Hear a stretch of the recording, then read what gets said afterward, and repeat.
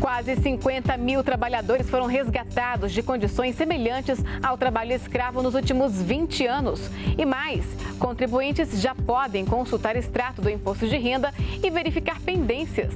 E ainda nesta edição, mais de 4 bilhões de reais são investidos no combate ao desperdício de energia pelo Programa de Eficiência Energética em sete anos.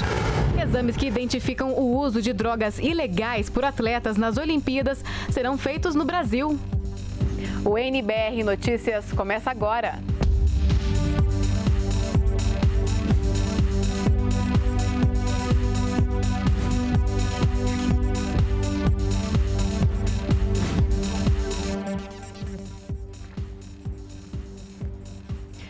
Olá, boa noite. Quase 50 mil trabalhadores foram resgatados de condições semelhantes ao trabalho escravo. Esse é o balanço dos 20 anos de criação do Grupo Especial de Fiscalização Móvel do Ministério do Trabalho. As práticas de combate a esse crime adotadas aqui no Brasil são modelo para outros países que enfrentam o mesmo problema. O Código Penal brasileiro define o trabalho semelhante ao escravo como crime, com pena de 2 a 8 anos de prisão. Essa prática é caracterizada pelo trabalho forçado, por jornada exaustiva, quebra da liberdade por dívidas contraídas com o empregador ou ainda pelo trabalho em condições degradantes, como em alojamentos precários, sofrendo maus tratos ou sem acesso à água potável e rede de esgoto. Segundo o Ministério do Trabalho, em geral, os trabalhadores libertados são migrantes internos ou imigrantes estrangeiros atraídos por falsas promessas de aliciadores. Segundo dados da ONG Repórter Brasil, é o segundo crime mais rentável do mundo, só perde para o, o tráfico de entorpecentes. Quer dizer, tão lucrativo e por isso tão praticado, não, praticado no Brasil e no mundo. Segundo a OIT, aí são em torno de 2 milhões de pessoas no mundo inteiro que estão sujeitos a trabalho escravo. Há 20 anos, o chamado Grupo Especial de Fiscalização Móvel, formado por auditores fiscais do Ministério do Trabalho, membros do Ministério Público, defensores públicos, policiais federais e rodoviários federais, atua no combate ao trabalho semelhante ao escravo. No período, essa força-tarefa resgatou quase 50 mil pessoas nessas condições em todo o país. Segundo o Ministério do Trabalho, a maioria das vítimas resgatadas é de homens entre 18 e 44 anos. Um terço deles são analfabetos. Só em 2014 foram resgatados mais de 1.600 trabalhadores, sendo 102 estrangeiros, em 284 fiscalizações. Tradicionalmente, a maior parte dos casos acontece na área rural, mas nos últimos anos têm sido registrados casos em atividades urbanas, como construção civil e indústria têxtil e até em cruzeiros marítimos. Hoje, é proibido fazer empréstimos rurais para quem usou mão de obra escrava e existe a possibilidade de confisco de propriedades onde ocorreu esse tipo de crime. Nós vamos continuar com esse aparato repressivo que leva o Brasil a ser citado, leva o Brasil a ser observado e repetidamente festejado como um país que tem boas práticas, como um país que avança, como um país que já exporta seus métodos de enfrentamento ao trabalho escravo contemporâneo para muitos outros países onde essa chaga, infelizmente, ainda é maior do que o que acontece no Brasil. O ministro do Trabalho falou sobre o apoio que esses trabalhadores recebem após o resgate dessa situação. Pessoas resgatadas né, do trabalho escravo, é, cabe ao Ministério oferecer a ele cursos de qualificação profissional, o benefício do seguro-desemprego, né, e o esforço nosso é de propor políticas afirmativas, porque se você não criar condições para que ele mude de situação, dando a ele acesso ao conhecimento, à educação, à qualificação profissional, ele continua sendo uma presa fácil para a repetição desse ato no, é, odiondo. Manuel Dias defendeu também que a chamada lista suja do Ministério volte a ser divulgada.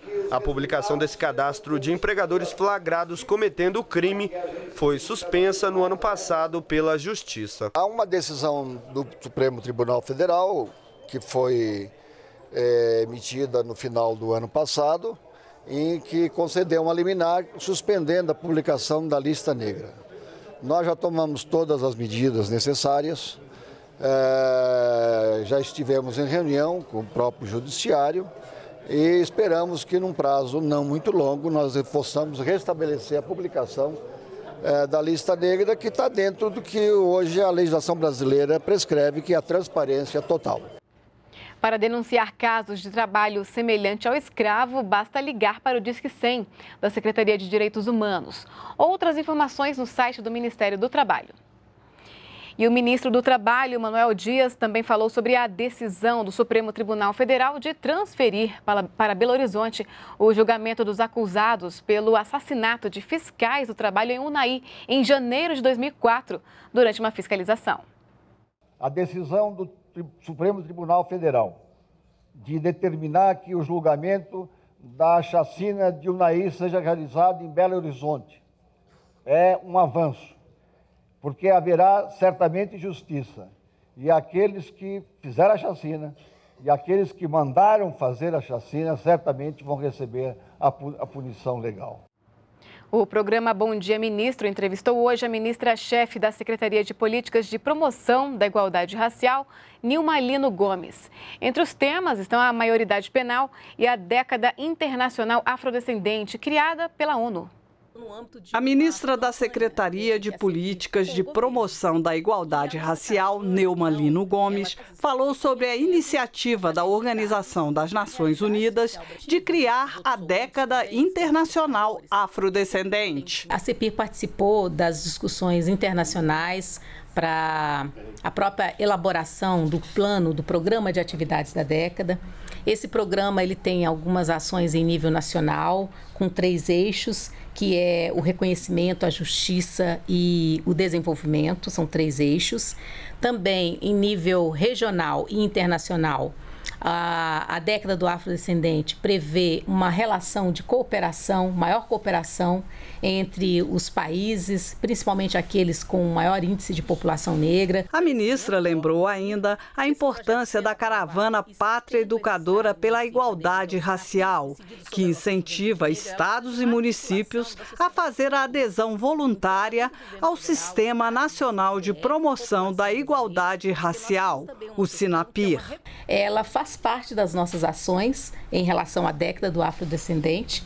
E também nós realizaremos seminários, discussões, aproveitaremos o nosso próprio Sistema Nacional de Promoção da Igualdade Racial para discutir com estados e municípios outras ações que poderemos realizar em prol da década dos afrodescendentes. A ministra Neuma Lino Gomes falou também sobre a redução da maioridade penal em tramitação no Congresso Nacional e sobre a violência contra os jovens negros no país a implementação do ECA na sua plenitude, o incremento das medidas socioeducativas que tem como objetivo ressocialização e formação dos nossos adolescentes e jovens, é, esse é, digamos assim, seria é o passo ideal e é a ação ideal de uma sociedade democrática e não a criminalização dos seus adolescentes e jovens. Eu acho que nós temos que compreender que esses adolescentes jovens negros, eles não são os produtores da violência, mas eles são vítimas da violência.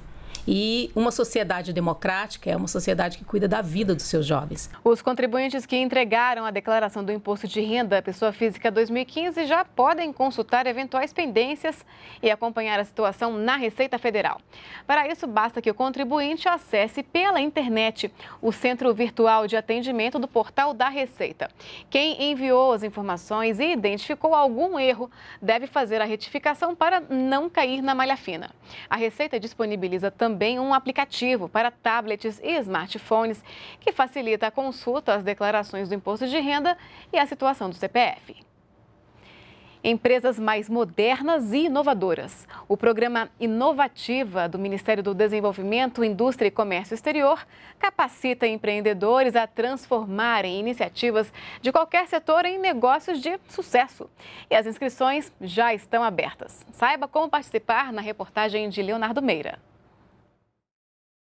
À primeira vista, um apartamento como outro qualquer. Essa é a cozinha e aqui fica a sala onde o empreendedor Fábio e a esposa recebem os amigos. Mas não se engane, aqui também funciona uma empresa que trabalha com conteúdos interativos. Basta entrar nessa sala para o apartamento virar empresa. O Fábio fica aqui em São Paulo e tem mais dois sócios, um em Vitória e outro em Campinas. Para tocar o negócio adiante, o contato deles pela internet é fundamental. Os sócios conversam com frequência em encontros pela internet, alinham estratégias e buscam clientes, uma organização de trabalho comum nas empresas do setor. A empresa existe há um ano e meio. Oferece uma ferramenta que promove concursos, quiz de perguntas e respostas e também faz pesquisas pela internet. O empreendimento foi um dos 95 finalistas na edição do ano passado do programa Inovativa, que capacita negócios inovadores por meio de cursos, melhorias de gestão e desenvolvimento de produtos. O nível do Inovativo é muito bom. Então, os participantes do Inovativo, os mentores do Inovativa são de altíssimo nível. Então, na verdade, é, ela já ajudou a gente realmente a aprimorar esses processos internos ou é, abordagem de mercado, posicionamento de mercado. São todos pontos da empresa que, sem dúvida, foram afetados pela participação no Inovativo. As inscrições para a edição deste ano do Inovativa estão abertas até o dia 19 de junho pela internet. São três etapas. Na primeira, a empresa recebe suporte para aprimorar as atividades. Podem participar negócios com até 5 anos de operação e faturamento anual máximo de 3 milhões e 600 mil reais e que não tenham recebido investimentos superiores a 500 mil reais. Passam para as outras duas fases os projetos mais bem estruturados. As próximas etapas incluem contato direto com gestores de médias e grandes empresas e banca de apresentação dos negócios a investidores. O governo está no caminho certo. É muito importante a continuidade desse tipo de programa de fomento ao empreendedorismo, porque ele é fundamental para as pequenas empresas. Eu não estaria aqui hoje não fosse por esses programas. Para mais informações sobre o Inovativa, acesse o site que aparece aí na tela. Nove hospitais universitários federais de sete estados brasileiros vão receber mais de 11 milhões de reais pelo Programa Nacional de Reestruturação dos Hospitais Universitários Federais. O repasse federal será feito em parcela única. Os recursos devem ser usados na compra de medicamentos, materiais hospitalares, produtos para a saúde e serviços. A meta é permitir que os hospitais universitários realizem as atividades de ensino, pesquisa e extensão e também ações voltadas à saúde. E hoje o ministro da Secretaria de Comunicação Social, Edinho Silva, participou de uma audiência na Câmara dos Deputados para falar sobre as ações de comunicação do governo para este ano. De acordo com o ministro, o objetivo é assegurar o acesso às informações sobre as principais políticas públicas em áreas como educação, saúde e desenvolvimento agrário fazer com que a informação chegue de forma transparente e objetiva para a sociedade brasileira, prestando contas dos atos do governo, portanto, daquilo que o governo tem feito. Eu penso que a comunicação social do governo existe para isso, né? existe para fazer com que a informação chegue de forma democrática, transparente e objetiva ao conjunto da sociedade. O Plano de Defesa Agropecuário do Matopiba foi apresentado hoje em Palmas pela ministra da Agricultura, Cátia Abreu, a produtores, associações rurais e também pesquisadores. Formada por partes do Maranhão, Tocantins, Piauí e Bahia, a região de Matopiba é uma das principais áreas do mundo em extensão na produção de grãos. São 337 municípios que representam quase 13% da produção de grãos no Brasil. A capital do Tocantins foi a primeira das quatro cidades a receber o plano. Durante o evento, também foi anunciada a doação de 20 tratores para municípios do estado e ainda a aquisição de uma máquina perfuratriz e de um caminhão, que vão ficar à disposição da Superintendência Federal de Agricultura do Tocantins. Amanhã, a ministra da Agricultura estará no Maranhão e no Piauí para apresentar o plano de defesa agropecuário do Mato Piba. Marinha, Exército e Aeronáutica trabalham juntos na Força de Pacificação da Maré desde abril de 2014. A missão: resgatar a lei e a ordem em 15 comunidades que fazem parte do complexo. Com o trabalho de pacificação, é possível levar até a população serviços públicos como emissão de documentos e benefícios sociais. A presença das tropas foi um pedido do governo do estado do Rio de Janeiro. O dia começou agitado no Conjunto Esperança, uma das 15 comunidades do Complexo da Maré, onde a Força de Pacificação está presente desde abril de 2014. Filas se formaram desde cedo para organizar o acesso da população a serviços como atendimento médico, emissão de documentos e cadastro em benefícios sociais. A ação é coordenada pela Força de Pacificação, que conta com efetivos da Marinha e Exército na comunidade e a Aeronáutica nas operações estratégicas. A população, ela, a gente percebe aí pelo contato com, com a comunidade, ela tem confiança na, na, na tropa do Exército, da Marinha, que está aqui presente. Então, quando a gente oferta esse tipo de serviço, a presença realmente é maciça. A gente vê, pelo tamanho da fila, né, muita gente buscando esse tipo de serviço. A parceria é feita com órgãos do Estado do Rio, como o Detran, Tribunal de Justiça e a Secretaria de Estado de Assistência Social e Direitos Humanos. Já o atendimento médico é feito por oficiais do próprio Exército. Nesta edição, contou com clínicos gerais, dermatologista e dentistas. O atendimento é com todas as faixas etárias e de caráter principalmente preventivo. Então, nós passamos orientações às pessoas sobre higiene, tanto para crianças, idosos e aplicação de flúor é o principal procedimento que a gente faz aqui. Também foram distribuídos kits de higiene com pasta, escova e fio dental. O que, você vai fazer com essa escova? Vou escovar dente. Todos os dias? Todos os dias. A jovem Tereza Cristina aproveitou para pedir a segunda via da carteira de identidade, para poder voltar para os estudos. A diferença é que não precisa pegar ônibus, né? E sair nesse calor e aqui já é na favela, né? Aqui onde a gente mora, na comunidade, é rapidinho. E não precisa pagar a segunda via. A presença da Força Pacificadora é importante porque ela trouxe, ela foi a abertura desses direitos que estavam privados, estavam sendo travados de, de, de estar dentro da comunidade. Então, a presença das forças de pacificação trouxe essa libertação, entendeu? essa distância, encurtou essa distância do poder público dentro das nossas comunidades. Essa é a nona ação cívico-social feita pela Força de Pacificação aqui no Complexo da Maré. Antes da transição completa da ocupação da área para a Polícia Militar do Rio de Janeiro, prevista para acontecer até dia 30 de junho deste ano, outras três ações como essa ainda serão realizadas. De 15 em 15 dias, nós temos trazido o ônibus da Justiça Itinerante junto com a Defensoria Pública para atendimento da população. O que, que a gente desenvolve aqui? Basicamente, é, audiências, né, acordos de, de, divórcio, de alimentos, retificações de registro, registro tardio, que é um problema muito sério. A Força de Pacificação da Maré conta com cerca de 3.200 militares do Exército, Marinha e Força Aérea, atuando na chamada Operação São Francisco, que já realizou mais de 71 mil ações, 612 prisões, 237 apreensões de menores por ato infracional e quase 1.300 apreensões de drogas, armas, munições munições, veículos e outros materiais. Das 15 comunidades ocupadas pela força, seis já foram transferidas para os cuidados da PM do Rio. Os policiais passam por estágios de adaptação junto às comunidades para facilitar a transição. Vivem hoje na Maré aproximadamente 140 mil pessoas. E a ajuda da população tem sido importante na desarticulação do crime. O Disque Pacificação, que recebe denúncias anônimas dos moradores, já registrou cerca de 2.500 ligações.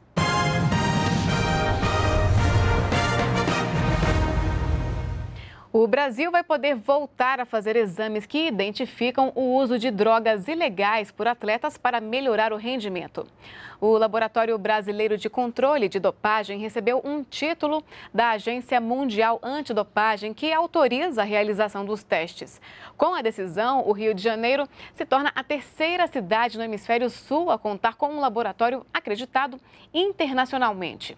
Os trabalhos começam nos eventos testes dos Jogos Olímpicos e Paralímpicos a partir de julho. O laboratório foi todo reestruturado recentemente para receber os Jogos. O ministro do Esporte, George Hilton, comentou no Canadá sobre a decisão.